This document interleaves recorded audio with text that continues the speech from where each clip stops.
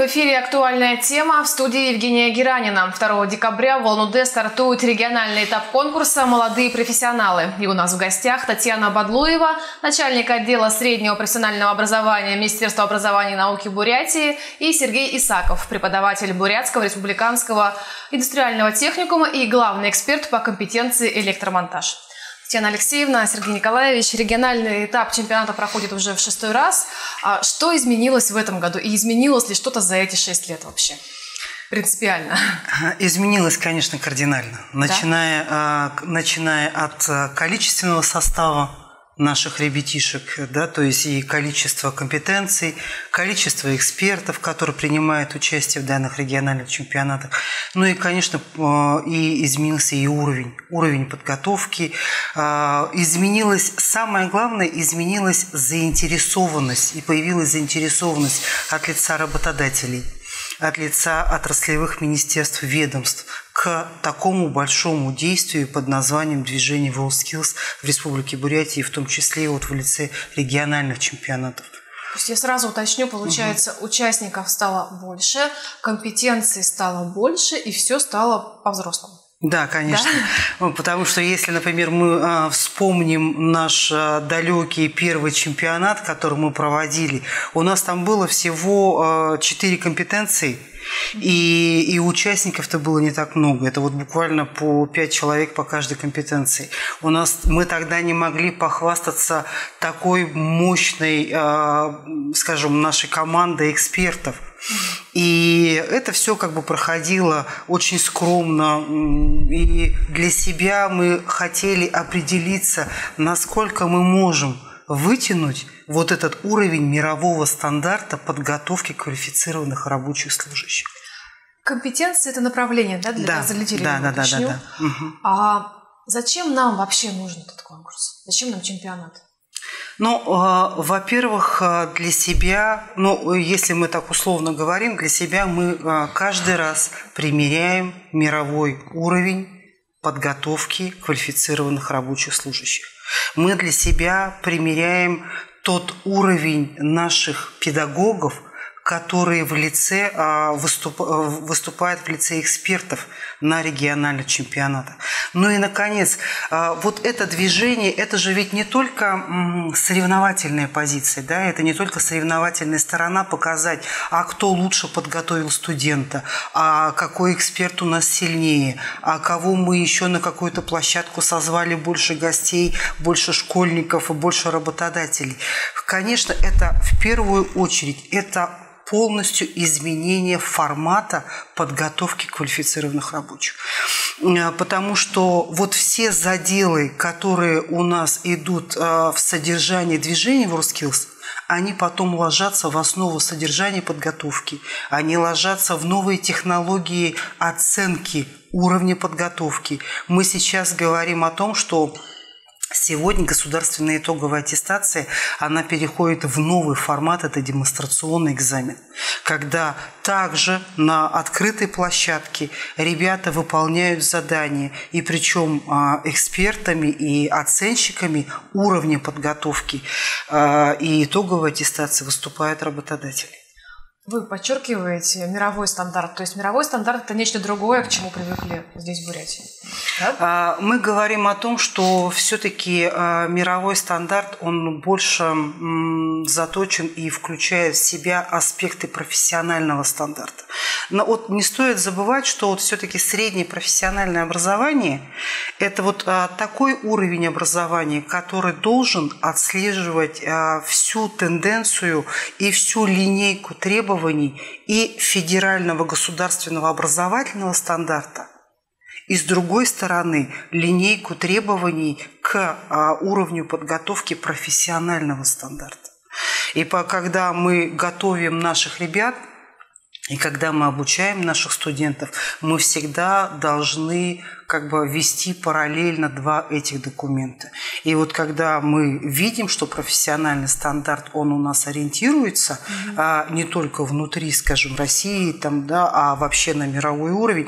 Ведь наша задача какая? Это не только научить нашего ребенка какому-либо, какой-либо трудовой функции, но и научить его быть настолько трудоспособным, и настолько профессиональным, чтобы он смог у нас а, себя проявить не только в республике, но и везде, скажем, в любой точке. И эти профессиональные его компетенции, навыки, умения, чтобы он их применял а, в любой точке, в любой сфере, имеется в виду по своему направлению, да, а, независимо от того, кто это работодатель.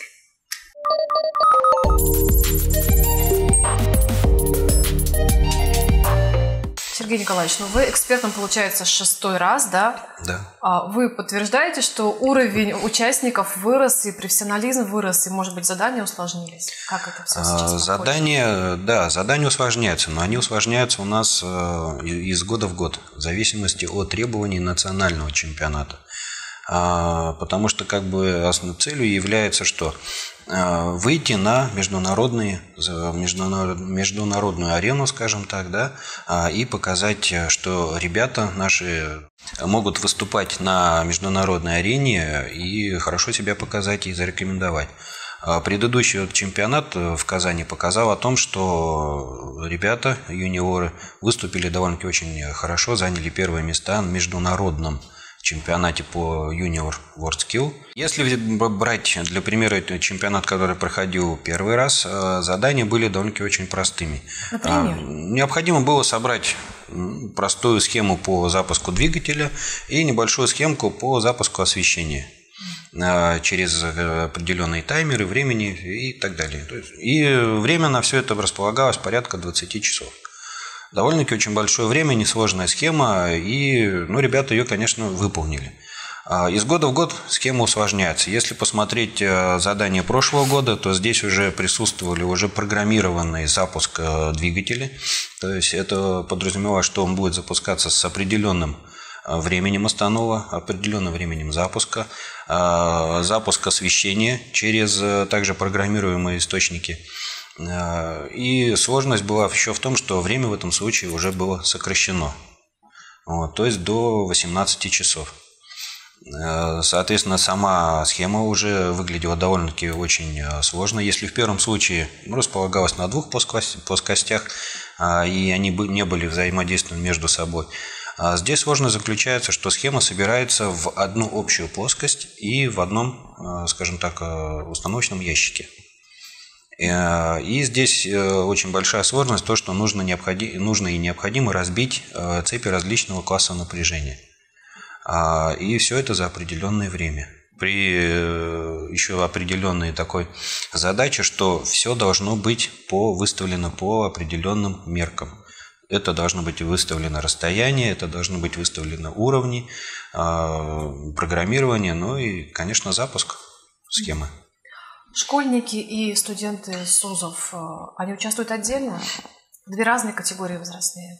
Это разные категории, это э, и перечень компетенций, он может быть, конечно, созвучен, да, mm-hmm. вот, например, сетевое системное администрирование, да, это электромонтаж, а, но а, в своих категориях возрастных они а, соревнуются по-разному. То есть у нас вот junior skills это вот как бы школьники, затем непосредственно сами основные компетенции для студентов. Здесь мы хотели бы отметить, что у нас с пятого чемпионата есть новшество, когда включены компетенции для наших опытных работников. Это возрастная категория 50+. И при этом, когда мы ввели эту компетенцию э, в прошлом году и посмотрели на активности и посмотрели на само вот психологическое состояние участников, мы поняли, что эта возрастная категория, она очень интересна. И отзываются, скажем, работники, предприятия, организации а, по этим направлениям, ну, довольно-таки интересно они проявляют, интерес они проявляют. И активно, в общем-то, включаются. То есть, получается, это а, рабочие предпенсионного возраста с огромным опытом, которые все еще хотят соревноваться, как да. мальчики. да? Да, да. То есть им это интересно. Это, это им интересно. А в это время, допустим, а, молодое поколение может наблюдать за их работой, или они заняты своими заданиями? То есть вот как-то этот опыт передается Ну, а, нет, пока не предусмотрено? Пока не предусмотрено. Почему? Потому что в любом случае у нас запараллелены mm. работа площадок конкурсных, да, соревновательных площадок. Поэтому пока так. То есть идет настрой, включение в работу, задание, время, эксперты. То есть это очень довольно-таки все четко регламентировано. Вот вы говорите, а, количество компетенций увеличилось, а, сами задания усложнились.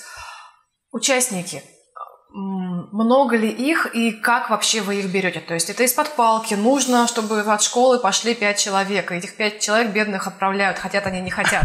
Или они сами рвутся, и почему тогда они так стремятся на чемпионат? Ну, э, здесь э, я думаю, что все-таки, э, вот давайте сравним даже вот движение WorldSkills с, со спортом.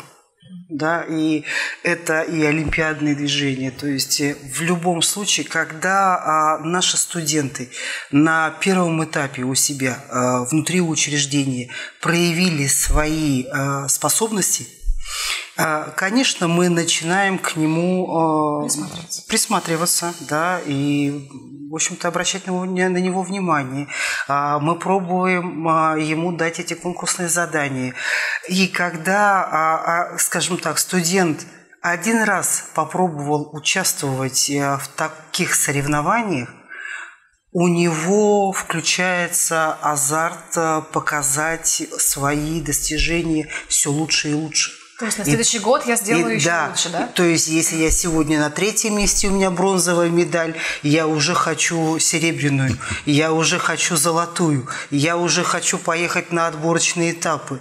Мне мало отборочных, я хочу национальный чемпионат. То есть вот а, этот соревновательный азарт, как и у всех, наверное, молодых людей и у ребятишек, он всегда присутствует. Ну и, конечно, показать, показать, чего ты достиг и что ты умеешь. Я думаю, что это любое а, качество, как личностное, оно присуще человеку, да, показать свои наработки, показать свои лучшие стороны, так, чтобы не только твое близкое окружение это видело, но и чтобы тебя оценили еще и другие. А, ну, студенты, понятно, не получают профессиональное образование. А школьники, как вы их подбираете, как вообще вы их распределяете по компетенциям? Как вы их учите или не учите? Ну, обучение это в любом случае будет. А начинается с э, очень просто, что приходим в школу, mm приходим в класс, э, разговариваем, представляем нашу компетенцию направление по электромонтажу, а, заинтересовываем их и говорим, что, ребята, вы можете прийти к нам на кружок, секцию, на занятия. Абсолютно это все бесплатно. Можете попробовать свои силы. Если это вам понравится, ради бога, мы с вами будем дальше работать и будем стараться вывести вас, э, соответственно, уже, говорится, на большую и большую, говорится, степень участия. То есть в Брите проходят какие-то дополнительные занятия для школьников? Да, да? совершенно верно. И да. там они готовятся? Да, в, на этом э, кружках готовятся полностью по тем же стандартам, международным стандартам WorldSkill. И начинаем с самого очень простого, самых э, азов – выключатель, лампочка, розетка. А, ну и постепенно все, конечно, уровень уже усложняется и доходит до международных стандартов, которые идут именно по юниорам. Ворски в этом случае разбит на несколько категорий. Вот у нас э, есть участники по электромонтажу, это юниоры, есть основные участники, это от 16 до 22, mm-hmm. да, и участники 50 плюс. Э, вот по электромонтажу такие вот три категории. Соответственно, ребята, которые вот идут категория 14-16, э, это юниоры. А для них разрабатывается отдельное задание. Они параллельно с работами работают основной площадки, но э, занимаются в этом случае, для них есть некоторые послабления. Они соревнуются у нас не больше 4 часов в день. То есть mm-hmm. это как бы общее требование по стандартам WorldSkill. А, и занимаются.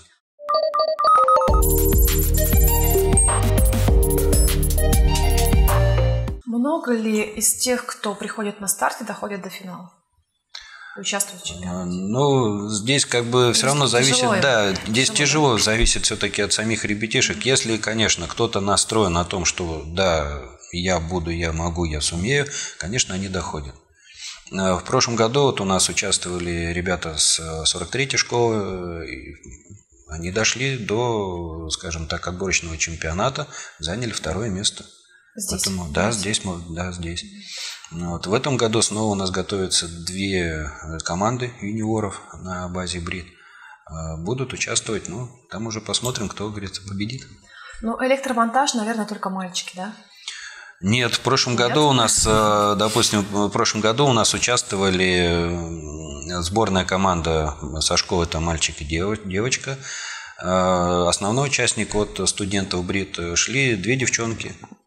И нормально. Вот, и они взяли первое место, они поехали на отборочный чемпионат уже на Россию. Заняли там восьмое место из 26 команд. Довольно-таки неплохой тоже результат. Да. А есть ли какая-то такая, может быть, неофициальная статистика из всех компетенций, куда, может быть, более охотно идут дети, юниоры, куда студенты? Или там популярности такой явной? Нет, там популярности нет, да? такой нет. Э, мы только здесь можем говорить э, те компетенции, которые уже давно угу. вошли в данный чемпионатное движение, а есть те компетенции, которые еще ну, скажем так, молоденькие. Да? Вот. Есть у нас, например, такая компетенция, как поварское дело, электромонтаж, mm техническое обслуживание ремонт автомобильного транспорта. А, это парикмахерское искусство а, технологии моды. Это вот именно как раз те компетенции, которые уже в это движение и в, это, в эти чемпионаты вошли ну, довольно-таки вот практически с самого начала, с первого, со второго чемпионата. А, здесь мы можем похвастаться и сертифицированными экспертами, мы здесь можем похвастаться достижениями на отборочных национальных этапах чемпионата. А, есть молоденькие направления, которые ну, совершенно, скажем так, не так давно. Это вот и сфера образования, это и плотническое дело, это ландшафтный дизайн. Это вот а, те компетенции, которые мы готовим пошагово, потому что в любом случае ведь любая компетенция – это очень большой э, объем проделанной работы. Это и создание условий в учреждениях, э, это и подготовка педагогических кадров, это и отбор наших студентов, ребят. Поэтому э, это не сразу, например, захотел и компетенцию выдвинул на чемпионат. Э, этому всему предшествует большая-большая плодотворная такая кропотливая работа. Ну вот про экспертов, да, вопрос. А, тяжело ли было собрать эту команду экспертов? Кто их сертифицирует, где? И вообще вот вам лично по себе тяжело ли судить детей? Или нет, есть какая-то четкая система, беспристрастная, и все? Ну, здесь как Судить ребятишек, э, конечно, очень сложно, потому что ну, чисто морально. То есть mm ребятенок готовился, собирали, вкладывали в душу, и душу, говорится, в схему, в работу. И очень сложно как-то здесь что-то предпринять. Но на этот случай у нас э, стоит жесткая система оценивания, а, в которой четко прописано. То есть тот или иной параметр должен быть оговорен. А, и жесткое, соответственно, такое идет исполнение. Выполнен этот параметр или не выполнен. А, в этом случае мы уже как не можем от себя уже ничего сделать, мы идем согласно вот этому жесткому регламенту, который идет по оцениванию работ э, юниоров, э, основных участников и так далее. Много ли экспертов и как вы их собирали всех? Кто эти люди вообще? А, экспертами в основном у нас э, идут педагогические работники, но так у нас э, есть эксперты от работодателей, это МРСК Сибири, они у нас тоже сертифицировались, имеют сертификаты экспертов. А, и, скажем так, они как работодатели, конечно, заинтересованы в кадрах. То есть, когда идет чемпионат, то есть они видят всех участников, видят, кто как работает.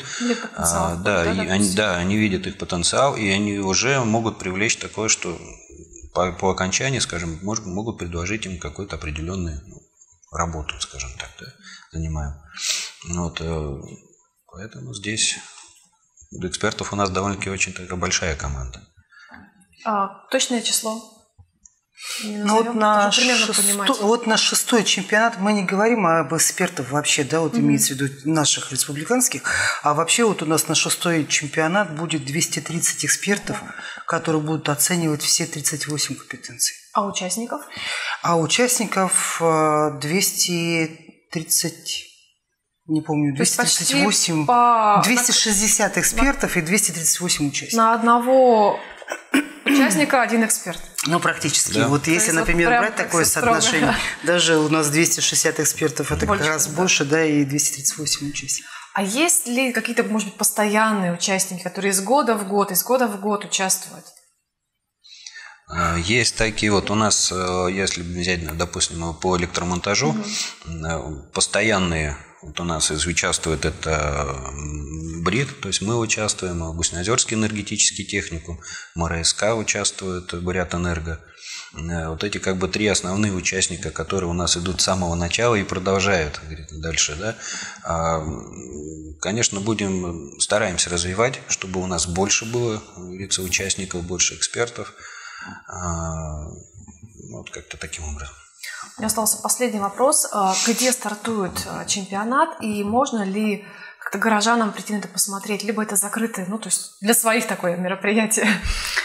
Мы, конечно, приглашаем всех на наш шестой региональный чемпионат «Молодые профессионалы», который состоится и который откроется 2 декабря в торгово-развлекательном центре Capital Mall.